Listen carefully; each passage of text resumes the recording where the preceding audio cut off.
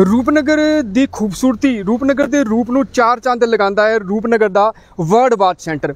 ਸਤਿ ਸ੍ਰੀ ਅਕਾਲ ਜੀ, ਮੈਂ ਹਾਂ ਤੁਹਾਡਾ ਦੋਸਤ ਅਵਤਾਰ ਸਿੰਘ ਕੰਬੋਜ। ਅਸੀਂ ਪਹੁੰਚੇ ਹਾਂ ਅੱਜ ਰੂਪਨਗਰ ਦੇ ਵਰਲਡ ਵਾਚ ਸੈਂਟਰ ਦੇ ਵਿੱਚ।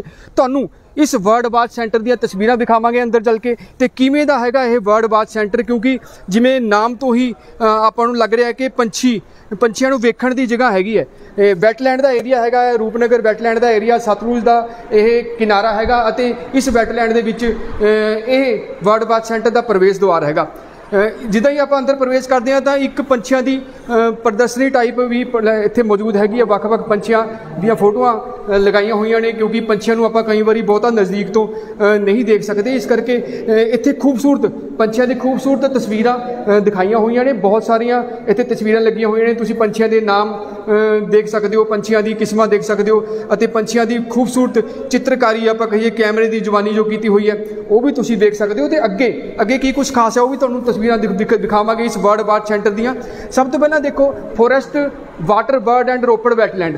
Ropar wetland ਦੇ ਕੁਝ ਹੋਰ ਇੱਥੇ ਤਸਵੀਰਾਂ ਦੇ ਨਾਲ ਪੇਸ਼ਕਾਰੀ ਕੀਤੀ ਹੋਈ ਹੈਗੀ ਵੈਟਲੈਂਡ ਦੇ ਮੁਲਾਜ਼ਮਾਂ ਦੇ ਵੱਲੋਂ। ਤੇ ਅੱਗੇ ਚੱਲ ਕੇ ਕੀ ਹੈਗਾ, ਅਦਭੁਤ ਨਜ਼ਾਰਾ ਵਰਲਡ ਵਾਰ ਸੈਂਟਰ ਦੇ ਵਿੱਚ ਕੀ ਕੁਝ ਹੈਗਾ, ਆਪਾਂ ਉਹ ਤਸਵੀਰਾਂ ਦੀ ਜਵਾਨੀ ਦੇਖਾਂਗੇ।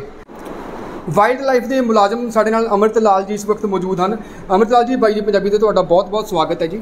Thank you sir thank you sir ਤੁਹਾਡਾ ਵੀ ਬਹੁਤ ਬਹੁਤ ਮੋਸਟ ਵੈਲਕਮ ਸਰ ਜਿਵੇਂ ਪੰਛੀਆਂ ਨੂੰ ਵੇਖਣ ਦੀ ਜਗ੍ਹਾ ਹੈਗੀ ਜੇ ਆਪਾਂ ਸਾਦੇ ਸ਼ਬਦਾਂ ਵਿੱਚ ਗੱਲ ਕਰੀਏ ਇਹ ਹਾਂਜੀ ਸਰ। ਤਾਂ ਕੀ ਕੁਝ ਖਾਸ ਹੈਗਾ? ਅੱਗੇ ਚੱਲ ਕੇ ਵੀ ਵੇਖਾਂਗੇ ਆਪਾਂ। ਪਹਿਲਾਂ ਤੁਹਾਡੇ ਤੋਂ ਜਾਣ ਲਈਏ ਕੀ ਕੁਝ ਖਾਸ ਹੈਗਾ ਇੱਥੇ? ਸਰ ਖਾਸ ਤਾਂ ਬਹੁਤ ਕੁਛ ਹੈ। ਪਹਿਲੇ ਖਾਸ ਤਾਂ ਇਹੀ ਹੈ ਜਿਹੜੇ ਪੰਛੀ ਹੈ ਉਹ ਸਾਡਾ ਇੱਕ ਕਹਿ ਲਓ ਵੀ ਜੀਵਨ ਦਾ ਹਿੱਸਾ ਹੈ ਜੀ। ਜੇ ਪੰਛੀ ਹੈ ਤੇ ਸਾਡੇ ਵਾਈਲਡ ਲਾਈਫ ਦੀ ਇੱਕ ਸ਼ਾਨ ਹੈ ਜੀ ਹੈ ਇਹ ਸਾਡਾ ਰੋਪੜ ਦਾ ਵਰਲਡ ਬਾਜ ਸੈਂਟਰ ਹੈ ਜੀ ਜਿੱਥੇ ਸੈਲਾਨੀ ਹਰ ਸਾਲ ਆਉਂਦੇ ਹੈ ਤੇ ਸਾਡੇ ਸਰਦ ਰੁੱਤ ਦੇ ਵਿੱਚ ਜਿਹੜੇ ਮਾਈਗ੍ਰੇਟਰੀ ਬਰਡ ਹੈ ਉਹਨਾਂ ਨੂੰ ਦੇਖਣ ਲਈ ਕਾਫੀ ਦੂਰਾਂ ਦੂਰਾਂ ਤੋਂ ਜਿਹੜੇ ਹੈ ਨਿਊਜ਼ ਵੀ ਲੱਗਦੀ ਹੈ ਥੋੜੇ ਚੈਨਲਾਂ ਦੇ ਮਾਧਿਅਮ ਤੇ ਤੇ ਕਾਫੀ ਪੰਛੀ ਜਿਹੜੇ ਬਾਹਰੋਂ ਆਉਂਦੇ, ਜਿਹਨੂੰ ਮਾਈਗ੍ਰੇਟਰੀ ਵਰਡ ਕਹਿੰਦੇ, ਪ੍ਰਵਾਸੀ ਪੰਛੀ ਸਾਡੇ ਹੈ ਤੇ ਉਹਦੇ ਵਿੱਚ ਅਲੱਗ-ਅਲੱਗ ਸਪੀਸੀਜ਼ ਹੈ ਤੇ ਸਾਡੇ ਪੰਜਾਬ ਦੇ ਵਿੱਚ 6 ਇੰਟਰਨੈਸ਼ਨਲ ਵੈਟਲੈਂਡ ਹੈ, ਜੋ ਰਾਮਸਰ ਸਾਈਡ ਸਾਡੀ ਹੈਗੀ ਹੈ। ਤੇ ਉਹਦੇ ਵਿੱਚ ਮੈਂਸ਼ਨ ਹੈ ਜੀ। ਤੇ ਉਹਦੇ ਵਿੱਚ ਕਾਫੀ ਵੱਡੀ ਤਾਦਾਦ ਦੇ ਵਿੱਚ ਜਿਹੜੇ ਬਾਹਰੋਂ ਪੰਛੀ ਆਉਂਦੇ ਆ। ਤੇ ਜਿਹੜਾ ਰੂਪਨਗਰ ਦਾ ਵੈਟਲੈਂਡ ਹੈਗਾ ਇਹ ਉਹ 6 ਜਿਹੜੇ ਵੈਟਲੈਂਡ ਹੈਗੇ ਉਹਨਾਂ ਦੇ ਵਿੱਚ ਕਿੰਨਾ ਕੁ ਅਹਿਮ ਸਥਾਨ ਰੱਖਦਾ ਇਹ? ਉਹਨਾਂ ਦੇ ਵਿੱਚ ਸਰ ਇਹ ਵੀ ਇੰਟਰਨੈਸ਼ਨਲ ਰੋਪੜ ਵੀ ਇੰਟਰਨੈਸ਼ਨਲ ਵੈਟਲੈਂਡ ਦੇ ਰਾਮ ਸਰ ਦੀ ਸੂਚੀ ਵਿੱਚ ਦਰਜ ਹੈ ਜੀ। ਉਹ ਪੰਛੀਆਂ ਦੀ ਕਿਸਮਾਂ ਵੀ ਇੱਥੇ ਵੇਖਣ ਬਿਲਕੁਲ ਜਿੰਨੀਆਂ ਵੀ ਸਰ ਬਾਹਰੋਂ ਆਉਂਦੀਆਂ ਸਾਰੀਆਂ ਡੱਕ ਸਪੀਸੀਜ਼ ਹੈ ਜਿੰਨੀ ਵੀ ਬਾਹਰੋਂ ਆਉਂਦੀ ਹੈ ਜਿਹੜੀ ਬੱਤਖ ਦੀ ਸਪੀਸੀ ਹੈ। ਉਹਦੇ ਵਿੱਚ ਜਿਹੜੀ ਰੂਡੀ ਸ਼ੇਲ ਡੱਕ ਹੈ ਉਹ ਕਾਫੀ ਇੱਕ ਸੁੰਦਰ ਪੰਛੀ ਜਿਹਨੂੰ ਕਹਿੰਦੇ ਪੰਜਾਬੀ ਦੀ ਕਹਾਵਤ ਨੂੰ ਬੜੇ ਸੁਰਗਾਬ ਦੇ ਪੰਖ ਲੱਗੇ ਹੋਏ ਆ। ਉਹ ਜਿਹੜੀ ਬੱਤਖ ਆ ਉਹ ਕਾਫੀ ਬਿਊਟੀਫੁਲ ਬੱਤਖ ਹੈ ਜੀ। ਉਹ ਅਕਸਰ ਪੇਰ 'ਚ ਰਹਿੰਦੀ ਹੈ ਜੋੜਾ ਬਣਾ ਕੇ ਜਿੰਨੇ ਵੀ ਪੰਛੀ ਨੇ ਸਾਰੇ ਬੱਤਖ ਦੀ ਪ੍ਰਜਾਤੀ ਦੇ ਪੰਛੀ। ਨੇ। ਜਿਹੜੇ ਬਾਹਰੋਂ ਆਉਂਦੇ ਆ ਸਰ। ਜਿਹੜੇ ਬਾਹਰੋਂ ਜਿਹੜੇ ਪ੍ਰਵਾਸੀ ਬੱਚੇ ਉਹ ਸਾਰੇ ਡੱਕ ਸਪੀਸੀਜ਼ ਹੈ ਜੀ। ਬਾਕੀ ਸਾਡੇ ਰੈਜ਼ੀਡੈਂਟ ਬਰਡ ਹੈ ਸਾਡੇ ਸਾਡੇ ਰੈਜ਼ੀਡੈਂਟ ਬਰਡ ਹੈ। ਸਾਡੇ ਇੰਡੀਆ ਦੇ ਵਿੱਚ 1334 ਵੈਰਾਈਟੀ ਹੈ ਜੀ। ਜਿਹਦੇ ਵਿੱਚ ਸਾਡੇ ਸਵਾਲਿਕ ਰੇਂਜ ਦੇ ਵਿੱਚ 450 500 ਸਾਡੇ ਸਵਾਲਿਕ ਰੇਂਜ ਚ ਪਾਏ ਜਾਂਦੇ ਹੈ ਉਹਦੇ ਵਿੱਚ ਅਲੱਗ-ਅਲੱਗ ਸਪੀਸੀਜ਼ ਹੈਗੀ ਹੈ ਸਰ। ਸੋ ਜੀ ਚਲੋ ਅ, ਵੱਖ-ਵੱਖ ਤਰ੍ਹਾਂ ਦੇ ਪੰਛੀ ਨੇ ਆਪਾਂ ਅੱਗੇ ਚੱਲ ਕੇ ਵੀ ਅ, ਤਸਵੀਰਾਂ ਤੁਹਾਨੂੰ ਦਿਖਾਉਂਦੇ ਆ ਇਸ ਤੋਂ ਇੱਥੋਂ ਫਿਰ ਬਾਹਰ ਆਪਾਂ ਜਾ ਸਕਦੇ ਆ ਕਿਉਂਕਿ ਅ, ਜੋ ਵਰਲਡ ਵਾਚ ਸੈਂਟਰ ਹੈਗਾ ਅੱਗੇ ਤਿੰਨ ਟਾਵਰ ਵੀ ਮੌਜੂਦ ਨੇ। ਹਾਂਜੀ ਸਰ, ਉਹ ਤਿੰਨ ਸਾਡੇ ਟਾਵਰਾਂ ਦੇ ਵਿੱਚ ਜਾਣ ਦਾ ਰਸਤਾ ਇੱਥੋਂ ਸਟਾਰਟ ਹੋ ਜਾਂਦਾ ਇਹ ਹੈ ਸਾਡੇ ਸਰ ਨੇਚਰ ਟ੍ਰੇਲ ਹੈ ਜੀ। ਇੱਥੋਂ ਸ਼ੁਰੂ ਹੋ ਕੇ ਜੀ ਇਹਦੇ ਵਿੱਚ ਵੀ ਕਾਫੀ ਸਾਨੂੰ ਪੰਛੀ ਜਿਹੜੇ ਸਪੀਸੀਜ਼ ਹੈਗੀ ਆ ਰੇਅਰ ਸਪੀਸੀਜ਼ ਜਿਹੜੇ ਹੈਗੇ ਆ ਤੇ ਉਹ ਸਾਨੂੰ ਦੇਖਣ ਚ ਮਿਲਦੇ ਆ। ਛੋਟੇ ਜਿਹੜੇ ਬੁਸ਼ ਬਰਡ ਹੈ, ਰੈਜ਼ੀਡੈਂਟ ਬਰਡ ਹੈ, ਵਾਟਰ ਬਰਡ ਹੈ, ਉਹ ਸਾਨੂੰ ਕਾਫੀ ਦੇਖਣ ਚ ਮਿਲਦੇ ਆ ਸਰ।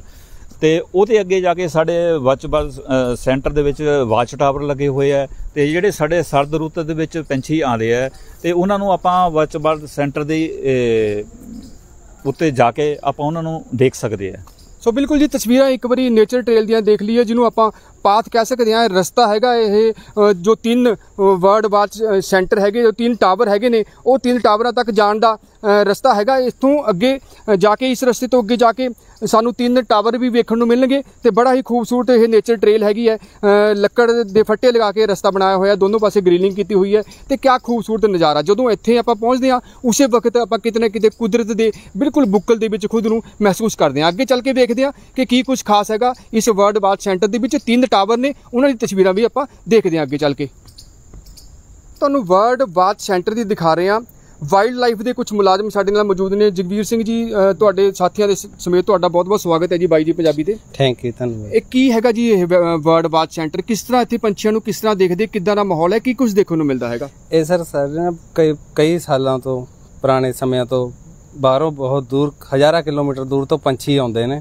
ਤੇ ਸਾਡੇ ਇੱਥੇ ਪਾਣੀ ਵਿੱਚ ਰਹਿੰਦੇ ਨੇ, ਜਿੰਨੇ ਵੀ ਵੈਟਲੈਂਡ ਹੈ, ਨੰਗਲ ਹੈ, ਰੋਪੜ ਹੈ, ਹਰੀਕੇ ਹੈ, ਤੇ ਇਹਨਾਂ ਦੇ ਪੰਛੀਆਂ ਦੇ ਰੱਖ ਨੂੰ ਪ੍ਰਮੋਸ਼ਨ ਕਰਨ ਵਾਸਤੇ ਤਾਂ ਸਾਡੇ ਡਿਪਾਰਟਮੈਂਟ ਵੱਲੋਂ ਬਣਵਾਇਆ ਗਿਆ ਹੈ। ਵੈਟਲੈਂਡ ਦਾ ਏਰੀਆ ਇਹ ਵ- ਬੜਵਾ ਸੈਂਟਰ ਜੀ, ਤੇ ਇਹਦੇ ਵਾਸਤੇ ਤਿੰਨ ਟਾਵਰ ਬਣਾਏ ਹੋਏ ਹਨ। ਤੇ ਹ- ਜਦੋਂ ਪੰਛੀ ਸਰਦੀਆਂ ਵਿੱਚ ਆਉਂਦੇ ਹਨ, ਤਾਂ ਵੱਖ-ਵੱਖ ਸਕੂਲਾਂ ਨੂੰ ਪ੍ਰੋਗਰਾਮ ਲਗਾ ਕੇ ਉਹਨਾਂ ਨੂੰ ਅਵੇਅਰਨੈਸ ਵਾਸਤੇ ਕੈਂਪ ਲਗਾਏ ਜਾਂਦੇ ਹਨ। ਬੱਚਿਆਂ ਨੂੰ ਇਹਦੇ ਸੰਬੰਧੀ ਜਾਗਰੂਕ ਕੀਤਾ ਜਾਂਦਾ ਹੈ।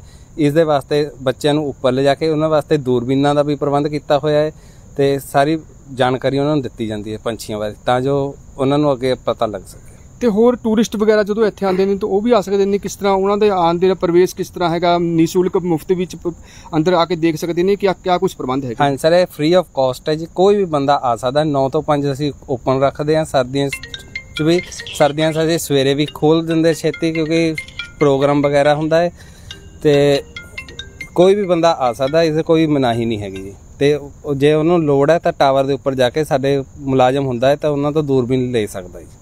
ਬਿਲਕੁਲ ਜੀ, ਦੂਰਬੀਨ ਦੇ ਨਾਲ ਇਹਨਾਂ ਟਾਵਰਾਂ ਦੇ ਉੱਪਰ ਇੱਕ ਵਾਰੀ ਤਸਵੀਰ ਦਿਖਾ ਦਿਓ। ਟਾਵਰ ਪਿੱਛੇ ਵੀ ਇੱਕ ਟਾਵਰ ਨਜ਼ਰ ਆ ਰਿਹਾ ਹੈਗਾ। ਇਹਨਾਂ ਟਾਵਰਾਂ ਦੇ ਉੱਪਰ ਚੜ੍ਹ ਕੇ ਵੀ ਤੁਸੀਂ ਪੰਛੀਆਂ ਨੂੰ ਦੇਖ ਸਕਦੇ ਹੋ, ਕਿਉਂਕਿ ਕੁਦਰਤ ਦਾ ਆਨੰਦ ਮਾਣਨ ਦੇ ਲਈ ਕੁਦਰਤ ਦੇ ਨਜ਼ਦੀਕ ਜ਼ਰੂਰ ਜਾਣਾ ਪੈਂਦਾ ਤੇ ਇਹ ਵਰਲਡ ਬਾਥ ਸੈਂਟਰ ਜੋ ਬਣਿਆ ਹੋਇਆ ਹੈ, ਕੁਦਰਤ ਦੇ ਬਿਲਕੁਲ ਬੁੱਕਲ ਦੇ ਵਿੱਚ ਬਣਾਇਆ ਹੋਇਆ ਹੈ, ਵੈਟਲੈਂਡ ਦਾ ਏਰੀਆ ਹੈਗਾ ਇਹ ਰੂਪਨਗਰ ਜ਼ਿਲ੍ਹਾ ਹੈਗਾ, ਰੂਪਨਗਰ ਜ਼ਿਲ੍ਹੇ ਦੀ ਖੂਬਸੂਰਤੀ ਨੂੰ ਕਿਤੇ ਨਾ ਕਿਤੇ ਚਾਰ ਚੰਦ ਜ਼ਰੂਰ ਲਗਾਉਂਦਾ ਹੈਗਾ, ਇੱਥੋਂ ਦਾ ਨਜ਼ਾਰਾ ਬੜਾ ਹੀ ਅਦਭੁਤ ਦ੍ਰਿਸ਼ ਪੇਸ਼ ਕਰ ਸਕ- ਕਰਦਾ ਹੈਗਾ। ਤੇ ਤੁਹਾਡਾ ਵੀ ਜਦੋਂ ਵੀ ਸਮਾਂ ਲੱਗੇ, ਜਦੋਂ ਵੀ ਸਮਾਂ ਲੱਗਦਾ ਤਾਂ ਇਸ ਵਾਚ ਸੈਂਟਰ ਨੂੰ ਆ ਕੇ ਤੁਸੀਂ ਵੀ ਜ਼ਰੂਰ ਦੇਖੋ, ਪੰਛੀਆਂ ਨੂੰ ਤੁਸੀਂ ਵੀ ਜ਼ਰੂਰ ਵੇਖੋ, ਕੁਦਰਤ ਨੂੰ ਦੇਖੋ, ਕਿਉਂਕਿ ਹਜ਼ਾਰਾਂ ਹੀ ਕਿਲੋਮੀਟਰ ਦੂਰ ਤੋਂ ਪੰਛੀ ਇੱਥੇ ਜੋ ਆਉਂਦੇ ਨੇ, ਪ੍ਰਵਾਸੀ ਪੰਛੀ ਆਉਂਦੇ ਨੇ, ਉਹ ਲਗਭਗ 3 ਤੋਂ 4 ਮਹੀਨੇ ਸਰਦੀਆਂ ਦੇ ਮੌਸਮ ਵਿੱਚ ਇੱਥੇ ਰਹਿ ਕੇ ਜਾਂਦੇ ਨੇ ਤੇ ਬੜਾ ਹੀ ਦਿਲਕਸ਼ ਨਜ਼ਾਰਾ ਜੋ ਹੈਗਾ, ਸਤਲੁਜ ਦਰਿਆ ਦਾ ਵੀ ਵੀ ਪੇਸ਼ ਹੁੰਦਾ ਜਦੋਂ ਪੰਛੀ ਸਤਲੁਜ ਦਰਿਆ ਦੇ ਵਿੱਚ ਚਹਿਚਹਾਉਂਦੇ ਨੇ।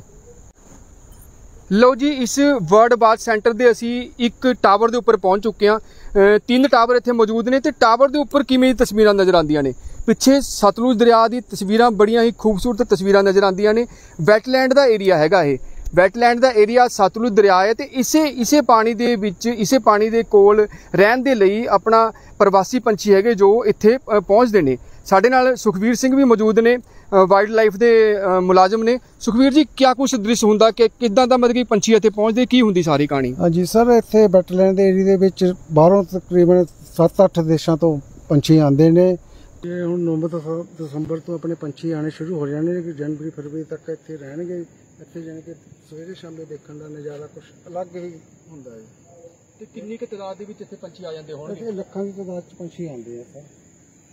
ਤੇ ਇਹ ਜਿਹੜੇ ਬਾਸ ਟਾਵਰ ਤੇ ਆਪਾਂ ਖੜੇ ਆ ਇੱਥੋਂ ਖੜ ਕੇ ਨਜ਼ਾਰਾ ਪੇਸ਼ ਹੁੰਦਾ ਇੱਥੋਂ ਖੜ ਕੇ ਲੋਕੀ ਦੇਖਦੇ ਨੇ ਤੇ ਜਿਵੇਂ ਪੰਛੀ ਦੂਰ ਹੁੰਦੇ ਨੇ ਤੇ ਉਹਨਾਂ ਦੇ ਲਈ ਵਿਭਾਗ ਹੈਗਾ ਦੂਰਬੀਨ ਵਗੈਰਾ ਹੀ ਮੁਹੱਈਆ ਕਰਵਾਉਂਦਾ ਹੈ। ਬਿਲਕੁਲ ਸਰ ਇੱਥੇ ਇੱਥੇ ਦੂਰਬੀਨ ਅਸੀਂ ਲਾਉਂਦੇ ਤਿੰਨ ਬੱਸ ਟਾਵਰ ਇੱਥੇ ਅਸੀਂ ਬਣਾਏ ਗਏ ਆ। ਤਿੰਨਾਂ ਦੇ ਉੱਤੇ ਅਸੀਂ ਦੂਰਬੀਨ ਵਗੈਰਾ ਲਗਾ ਕੇ ਉਹਨਾਂ ਨੂੰ ਦੂਰ ਦੇ ਦੀਪ ਦੇ ਨਾਲ ਦਿਖਾਉਂਦੇ ਹਾਂ।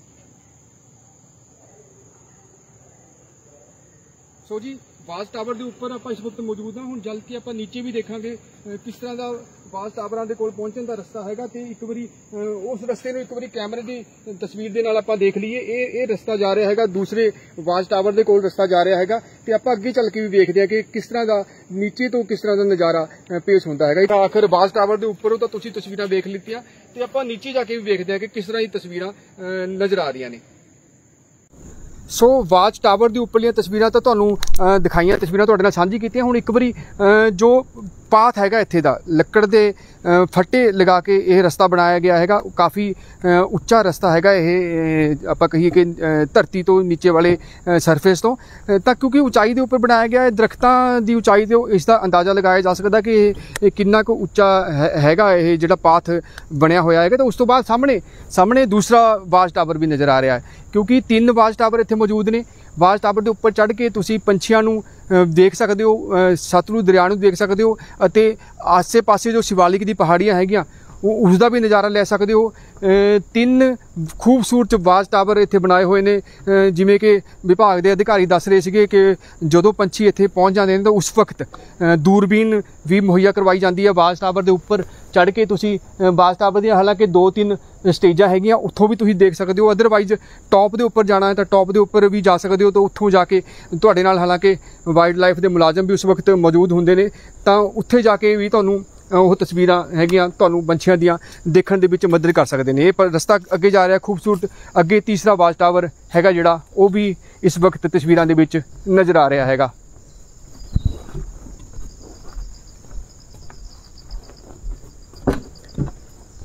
ਵਾਚ ਟਾਵਰ ਦੀ ਤਸਵੀਰਾਂ ਤੁਹਾਨੂੰ ਅਸੀਂ ਵਿਖਾ ਰਹੇ ਸੀਗੇ ਕਿ ਕਿਵੇਂ ਪੰਛੀਆਂ ਦੀ ਤੁਸੀਂ ਝਲਕ ਲੈਣ ਦੇ ਲਈ ਇੱਥੇ ਆ ਸਕਦੇ ਹੋ। ਬੜੀ ਹੀ ਖੂਬਸੂਰਤ ਤਸਵੀਰਾਂ ਇਹ ਪੇਸ਼ ਕਰਦਾ ਹੈਗਾ।